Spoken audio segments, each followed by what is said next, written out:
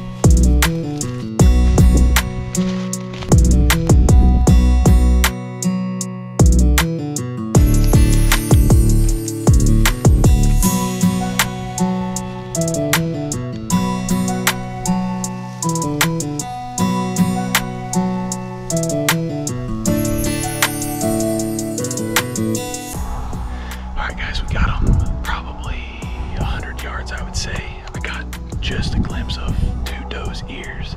And then as I glass across, I see some forks. So they're laying down in some cornrows. And uh, we're, like I said, about 100 yards. So we're sitting pretty good. The wind's in our favor. And uh, if we can just kind of creep up a little more, be a little more crawling here, and uh, pop up a decoy, he might get interested and come take a look.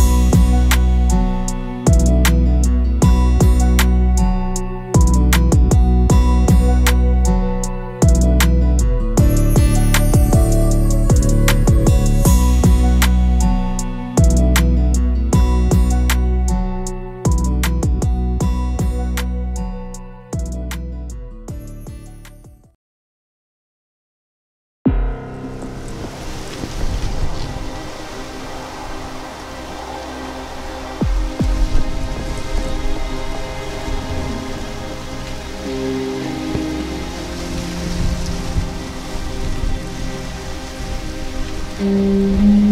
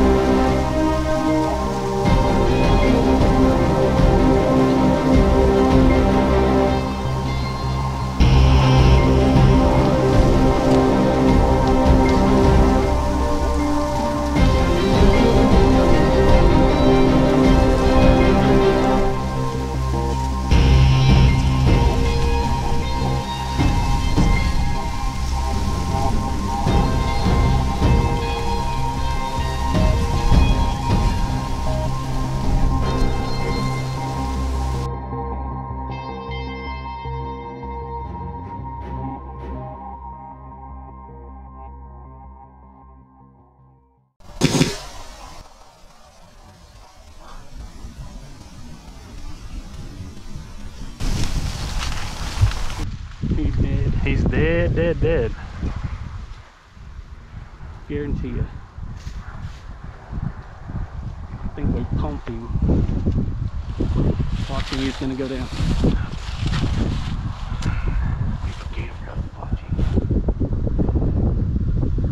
All right, guys. Right behind the shoulder. Brett had a good hit. He had a good hit. He was slightly quartered to us. Right. It was perfectly behind the shoulder. Great shot into this wind, man. That was a good shot. Good shot. 50 yards. He stood up and 49. he just kept he just kept getting nervous around his does and it just it seemed like to me he wasn't just wanting to come lock in. He doesn't seem like he's locked in Right. He's yet. he's just not quite in that hard rut stage yet. So uh, this decoy, I'm telling you, right here, we got everything stood up, and it took. He ca- he stepped over into our row, and he just stared that decoy down, and it helped. I mean, he he he co- kept him interested. yeah, he was interested. He took some steps toward us, and uh, then he kind of went back to his does. And I, I don't know if he was getting nervous enough that he was wanting to take his girls away, but I told Brett like, you better think about it shooting because man, he was just acting a little funny, and uh, man, great shot. So we're he's standing out here. He's hunched over. He's getting ready to fall over, I think, but good hit. We're gonna give him some time here and just kind of let him let him expire. So good job, buddy. Thank you. in the last in the last couple of years it's seriously taken me and Brett a combination of like maybe two or three hours well maybe four hours total to ex- to kill four deer I mean it's just been crazy crazy so usually if we get one bedded and I told him I said we get inside 80 yards with this heads up decoy chances are something's going down so anyway, Brett made a great shot. It's a good buck. We're gonna just give him time.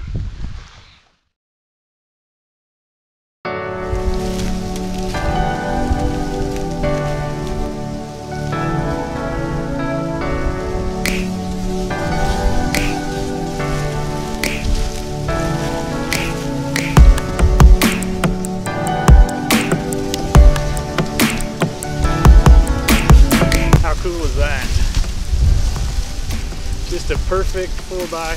Got a couple little bitty kickers here. One on this side. Really good eye guard for a mule deer. pretty, pretty, pretty. They don't match up much better than that. Well, all right. It is uh, About The- noon, isn't it? the 7th of November today, and it's almost noon, and we just finally found him. This guy had a, uh, a drive to live, that's for sure. Brett made a really, really good shot, and uh, the exit's good, the entry's good, and he just didn't want to give up. But uh, nonetheless, we kept after him and just kept glassing and seen him disappear, and thankfully, we uh, came up on him. So, anyway, uh, today we decided we'd leave the house, just kind of see what we could see. It's November 7th, so the rut's on. Uh, this buck, he was interested in his does, but he, he wasn't breeding yet. So uh, we decided to go in with another doe decoy, uh, the heads up decoy. And uh, we gave it to him. We got into 55 yards and uh, gave him the decoy. And uh, he stood up, kind of checked it out, went to sit check his does. We were a little bit nervous whether he was going to push his does away or if he was going to try to go get him and come back. But when he's broadside, standing still at 50, Brett just Right down the corn row. yeah, perfectly down our corn row. Yeah, it's just he gave me time to range him, everything. Yep. And the wind was going to start coming up today. It's it's really windy and it's supposed to be windy for the next couple days. So it was just a good time to, to take the shot and Brett made a great one. So happy for Brett. Again, we didn't didn't spend a whole lot of time hunting this year. We're fairly efficient, thankfully, um, thanks to the heads up decoy, the Hoyt, the Grim Reaper, and uh, another one in the book.